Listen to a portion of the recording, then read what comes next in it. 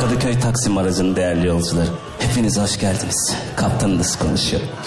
Kadıköy'de bugün hava 18 derece. Koltuklarınız dik, kemerleriniz bağlı.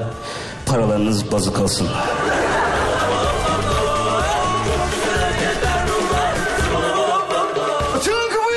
Hadi açsana kızım kapıyı. Buyurun. Necdet amca okulda mı? Okul mu? Fizik öğretmeni ya babam. Benim de okulda en sevdiğim ders fizikti.